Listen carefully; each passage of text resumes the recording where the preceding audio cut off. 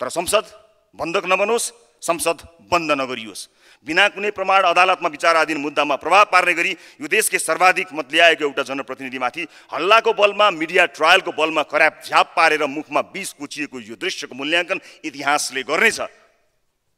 यो क्षेत्रमा रहेका यतापट्टि रहेका संसदको यता साइडमा रहेका यी भर्खरै आएका नयाँ आगन्तुक सांसदहरूलाई हेर्नुहोला।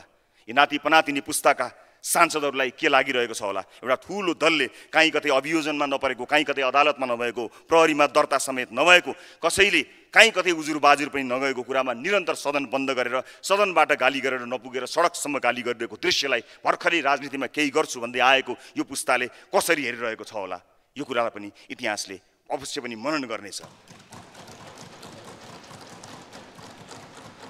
यो पुस्ताको राजनीतिको बागडोर सम्हाल्छु भनेर आँट गर्नुभएका साथीहरूलाई म यति भन्न चाहन्छु। साथी हो तपाईँहरूको सभापति ठग होइन। मैले कुनै पनि किसिमको ठगी गरेको छैन। निर्धक्क हुनुहोला। विधिको विडम्बना जसले कयौँ ठगहरूलाई एउटा क्यामेरा र माइक्रोफोनको बलमा जेल पठाउन मद्दत गर्यो कयौँ सहकारी पीडितहरूलाई न्याय दिलाउन मद्दत पर्यो आज त्यही मान्छे यो सदनमा उभिएर ठगीको आरोप लागेको कुरामा खण्डन प्रस्तुत गर्दैछ। महिनौपछि महिनौसम्म आरोप प्रत्यारोप खेपेर बदनामी सहेर अपमान सहेर बोलिरहेको छ। दीप श्रेष्ठको एउटा गीत छ र भनिएको छ आमा यिनीहरूले जेसुकै भनुन् म बहुला होइन। मैले बोल्न नहुने केही बोलेको छैन। मैले गर्न नहुने केही गरेको छैन। यिनीहरूले जेसुकै भनुन् म बहुला होइन। मैले यो गीतको दृष्टान्त मात्र सम्झन खोजेको।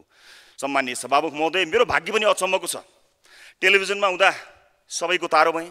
राजनीतिमा पनि सबैको तारो बनिरहेको छु। सारा मिडियाको पनि तारो बनिरहेको छु। आफू लोकतान्त्रिक शक्ति हुँदाहुँदै लोकतान्त्रिक दलकै निशानामा छु। विभिन्न वादी साथीहरूको निशानामा छु। आफूले माया गरेका नयाँ नयाँ साथीहरूको निशानामा पनि छु। मलाई साथीहरू भन्ने गर्नुहुन्छ मिडिया मिलाउनुहोस् मिडिया मिलाउनुहोस्। म भन्छु म मिलाउँदिनँ मिडिया। म जनताका लागि विद्यालय अस्पताल मिलाउन आएको हुँ। म नमिलेका कानुनका धाराहरू मिलाउन आएको हुँ। म अनुसन्धान गर्दा गर्दै रोकिएका फाइलहरू अगाडि बढाउने व्यवस्था मिलाउन आएको हुँ। म मिडिया मिलाउन आएको होइन म मिडिया मिलाउँदिनँ स्वाभाविक महोदय। बाँसबारी मिलाएँ बाल मन्दिर मिलाएँ टिकापुर मिलाउँछु तर म मिडिया मिलाउन आएको होइन सभामुख महोदय।